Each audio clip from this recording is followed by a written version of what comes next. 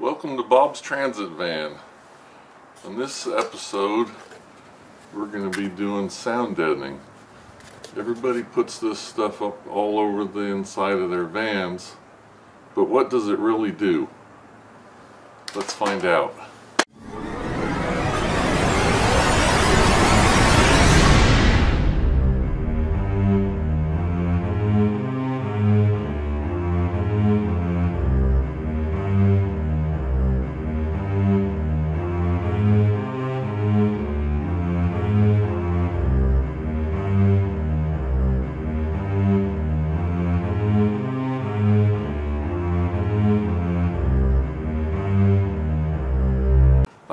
Asking yourself, how is he going to be able to tell what the sound deadener really does? Well, I'm going to do an experiment. I'm going to drive a 10 minute route before and after putting the sound deadener up. And I'm going to measure the sound pressure level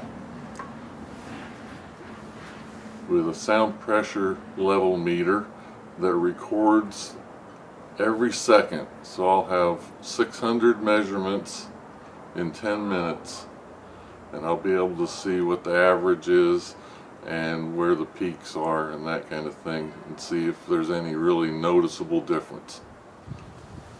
The other way I'm going to be able to the other way I'm going to be able to tell is I'm going to record the sound inside the van before and after and then I can put them on a spectrum analyzer and see if there's certain frequencies that are attenuated more by the sound deadener than by a bare bones van. Alright, so here's some of the tools that I'll be using. First of all, I've got about four boxes of the Kilmat.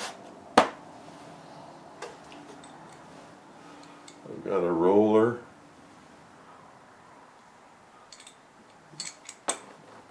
roll this on, make sure it sticks good. Box cutter.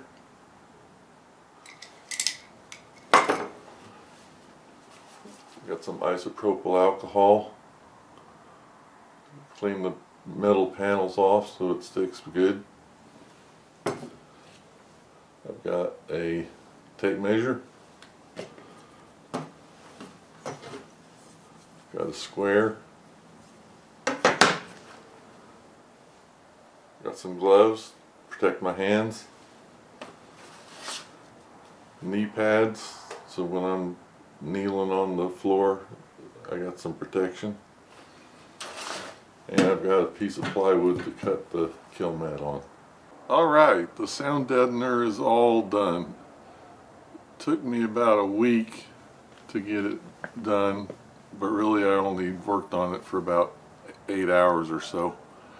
Uh, we had a couple days that were too cold, but it made quite a bit of difference, I can tell already.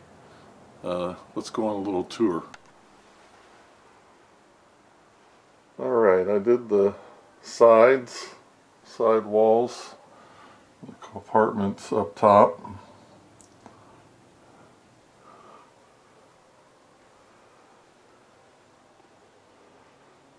Also did the floor, just the low part of the grooves in the floor. I did the wheel wells. I put two layers on the wheel wells just to deaden the road noise.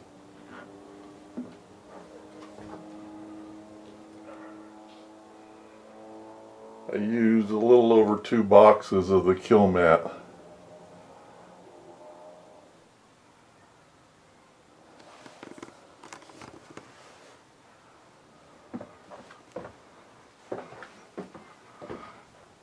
and I did the ceiling.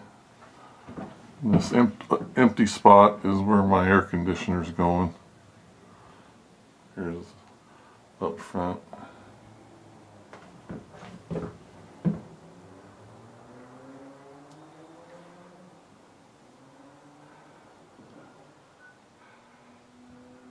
I didn't do the slider, the rear doors, rear doors are going to be a separate video because I want to do sound deadener, insulation, and change the speakers out all in one go. Also, for the under the headliner, I didn't do yet.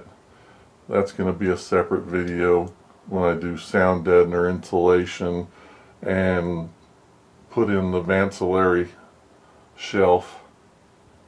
So that'll be a separate video. I also didn't do anything to the front doors. that'll be a separate video when I change the speakers out, sound deaden and then insulate the front doors. Alright, here's the data that I got from my sound level meter on this graph both both before and after are put together. So this first half over to about right here is before and over to the end is after. Now I got an average of the sound level on the first half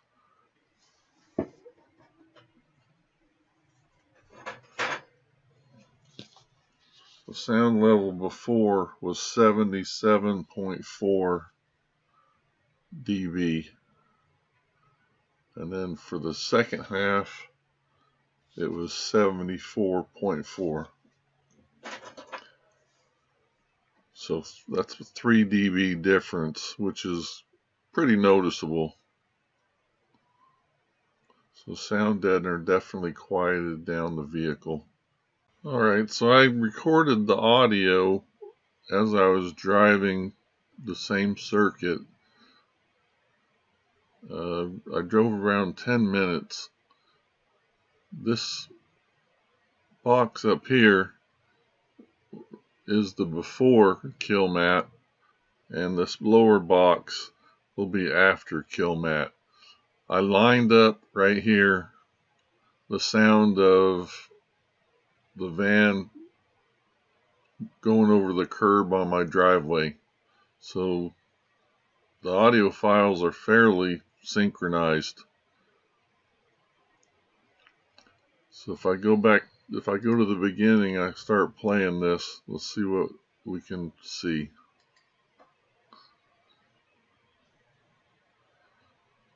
So it looks to me like the major change is in this upper frequency area which makes sense because the Kilmat takes a lot of the, the ping out of the large metal panels on the side of the van.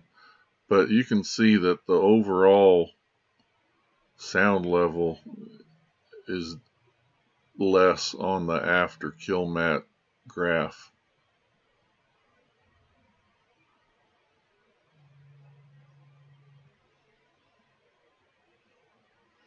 I mean, you can still see the bumps. If I hit a bump, you can see the sound peak out in certain areas.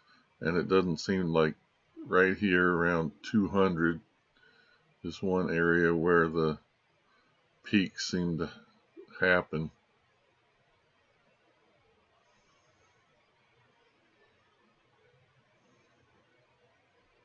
But you can just see right here in this area it's quite a bit less than here on the before Kilmat.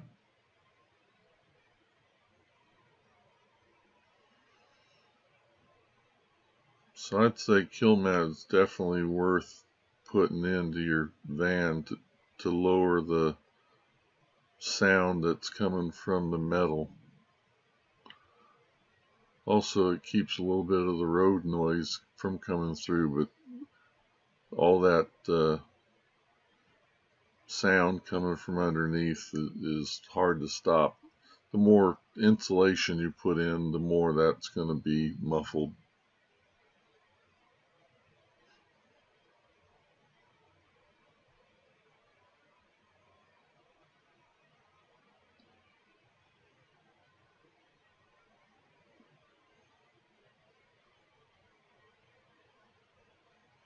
You can just see on this in this area there's a lot more low frequency than on this one too. So it's it's helping across the board